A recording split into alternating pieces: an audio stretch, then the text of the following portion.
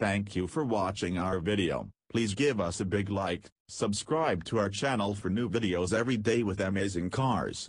Leave us your opinion in the comment section on the video. Thank you. One of the standout features of the redesigned 2019 Audi A8 luxury sedan is Traffic Jam Pilot, a driver assist system that has been described as a major step toward fully autonomous driving. But Audi won't offer Traffic Jam Pilot in the United States due to a host of legal, infrastructure, and consumer issues, according to Roadshow. Traffic Jam Pilot uses a combination of cameras, radar, LiDAR, and powerful computers to allow the A8 to drive itself in certain situations. The system only works in traffic jams at speeds up to 37 miles per hour on divided highways with clearly marked entrance and exit lanes. But when it's working, Audi claims Traffic Jam Pilot will allow drivers to take their hands off the wheel and essentially become passengers. We tried it, and it does work.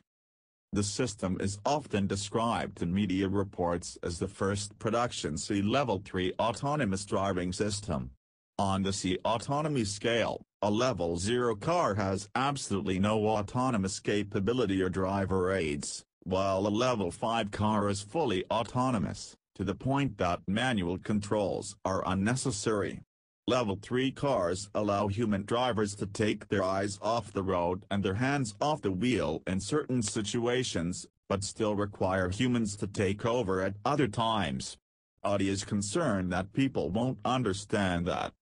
The word autonomous is often used to describe assist systems that still require an alert human driver, leading to the potential for major confusion. From drivers jury-rigging steering wheel to work sensors to a series of crashes and near misses involving cars with driver assist systems like Tesla's autopilot, more education is likely needed for car buyers to understand the true capabilities, and limitations, of these systems. Consumer understanding of automated vehicle technologies and driver responsibilities certainly also can be further informed, and Audi spokesperson told Roadshow. Because our system is fundamentally different, we won't be adding to the storylines that have been pretty pervasive lately. In addition to lack of consumer education, Audi is concerned about the lack of clear federal regulations for autonomous driving technology. Without blanket federal standards, Audi believes the existing patchwork of state regulations will make it impossible to sell the same product nationwide. A third concern is infrastructure.